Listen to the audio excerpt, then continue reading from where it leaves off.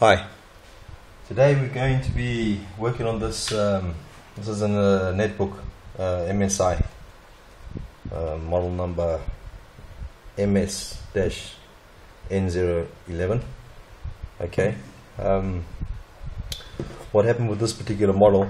A puff of smoke came out around this right corner here where the power on button is and then after that whenever you try to switch on the the netbook the, the power light would light up for a second and then would go off. Okay so uh, what I did with this um, you remove your battery there's about eight screws around on the bottom cover your bottom cover comes off. Um, I removed the motherboard from this particular model and disconnected everything the hard drive the Wi-Fi card and then what I did was I just plugged the screen into the motherboard added power to see what would happen. And uh, the machine booted. Okay? Obviously you leave the RAM connected. Um, from then on I went to connect one thing at a time.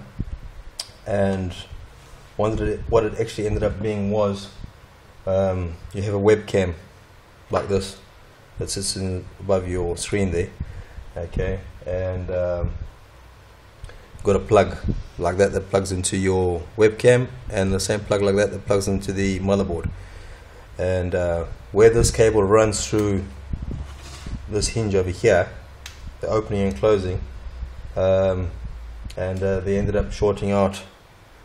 As you can see here they've actually heated up and fused together. That was the smoke okay this uh, netbook went back to the to the manufacturer and um, customer was quoted 150 euros to replace the motherboard.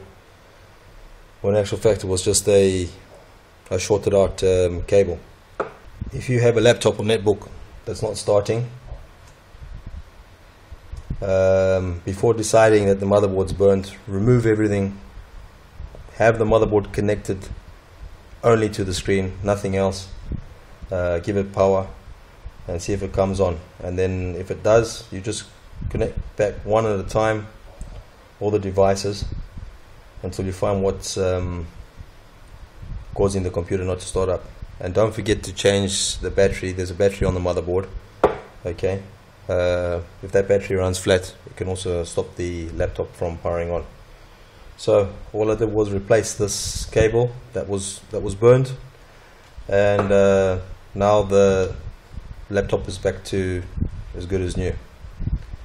Okay, so that was an easy fix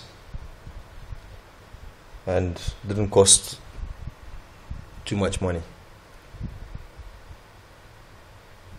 So remember, there's always a fix. Thanks for watching.